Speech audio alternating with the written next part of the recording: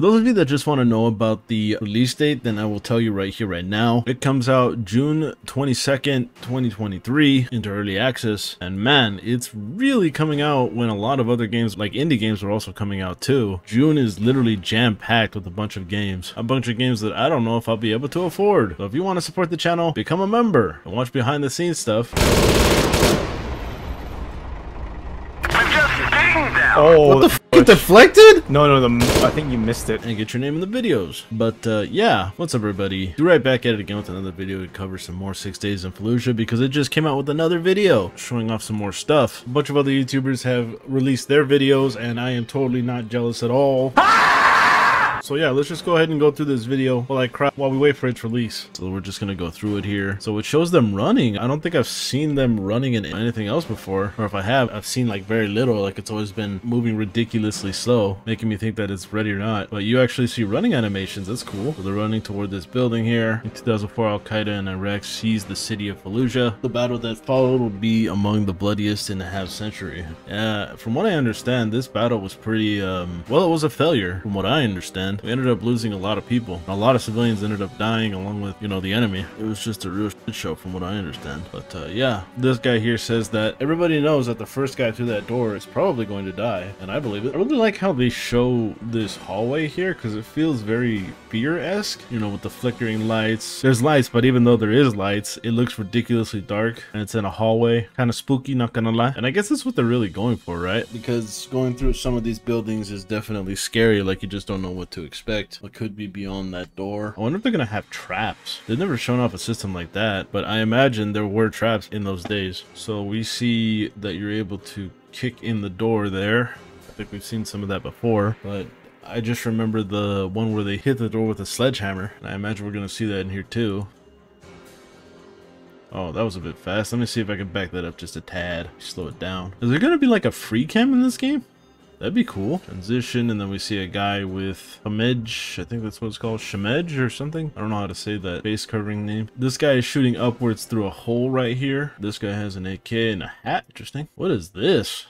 Some weird looking cage where they keep like their women and stuff. Like what the hell is this? This guy's looking through a murder hole. I'm guessing that the guys with the flashlight are all the American troopers. Sees a guy going by. That's an interesting looking headway right there. Ooh, it's nighttime. We have dynamic lighting, that's pretty cool. Guy running with this pistol. Oh, and we have dynamic weather. There's a sandstorm going on here. Barely see anything, it's like fog. Oh, and this dude gets freaking destroyed. Oh, so the bad guys can run over to another building here and hop up on the vines, which if you don't know, the vines are actually indications that you could hop up there. But man, these guys have like superhuman jumping right here because they just like straight jump up there. Let me see that again. Yoink! God dang! Look at that. Oh, and then the camera switches to the player view, and he just guns them down as they try to cross over. The only part that I dislike about this is that they don't actually show what it looks like when they die. I would like to see how the ragdolls would just, you know, happen here. But this also shows that the bad guys could definitely come in from the sides and try to flank you or reinforce the building that you're at. That's pretty cool. Oh, one thing that I should probably mention is that this is a four player co-op and I think it also has single player if I'm not mistaken with AI, just from what I've seen. I'm just curious to know how good the AI is. I hope it is, you know, relatively good. Not like BS or Ground Branch AI right now. Shoot off a shotgun right there. Uses his grenade launch on that third story building. Oh, and then we see the then we see the M249 machine gun right here. Blasting a vehicle, enemy vehicle that looks like it's headed towards them. Oh, and then it explodes. That's an IED. Look at the vehicles that we have here. That transport vehicle, and then there's a Bradley on the right side. That looks like a Bradley. And a Humvee to the left. I wonder if we take this Humvee. It was a failure. We're in the darkness again. Looking at a playground, it looks like. A dynamic lighting, making this look kind of cool. It's a very gorgeous looking game, by the way. I don't know if I've said that like 20 times. We see that Humvee again, so I'm guessing this is the vehicle that we can use to get around. Or maybe this is the vehicle that we spawn in and then we get out and go search the building. Hopping over stuff, looking with the lights and See, this is the way that I've seen, you know, the breaching system just with the hammer, and then they go in, breach and clear. This guy's shooting at this guy that looks like he's trying to like dodge with his arm. Like that's gonna work. I've seen a lot of people switch to their pistol when they go into buildings, which I guess makes sense because, you know, using a rifle in this environment would get it caught on a lot of stuff. And this right here is a little like sus because a guy waiting right here would have shot you. But this guy, he was sitting there doing nothing. And then the developers chose to cut this part to him shooting him with his gun up. So I think there's a little wonkiness with the AI. Just guessing. But I mean, so far this seemed pretty, uh, pretty good. Boom, headshot. That was pretty much the Six Days of Fallujah trailer. Uh, let's talk price.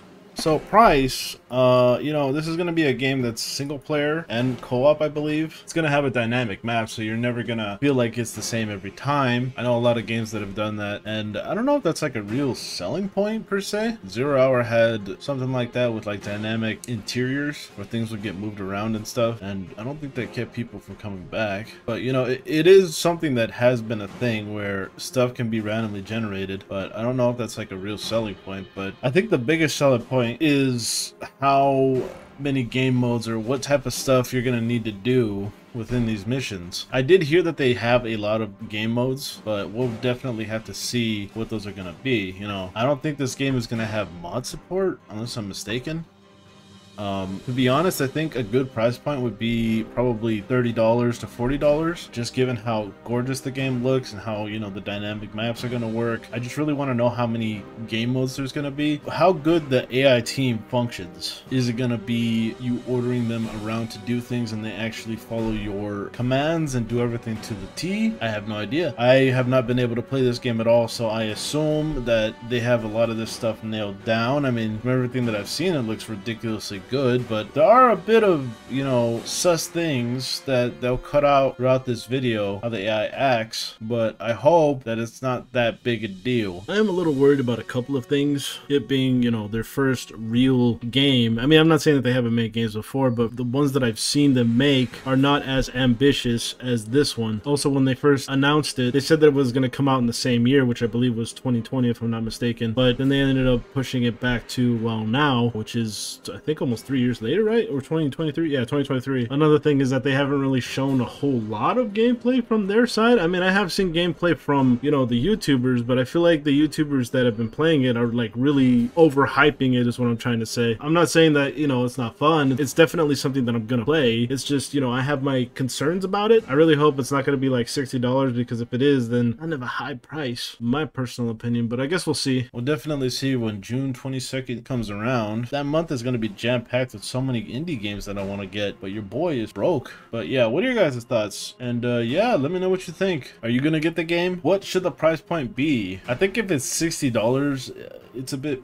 pushing it in my personal opinion because you're not having multiplayer as far as I know you know PvP I think the correct price would be anywhere from 30 to 40 dollars but I'm just curious to know what it's gonna be like I wonder what kind of expansions they could do. This feels like one of those games that's going to be like a one and done, you know, type of deal. Like you play it and then you know, put it aside for something else. But it's gonna be one of those games that's like worth your buck for sure i hope. And uh yeah tell me what you guys think and i'll uh end the video here. Thank you all for watching and i guess i'll catch you in the next one. Bye bye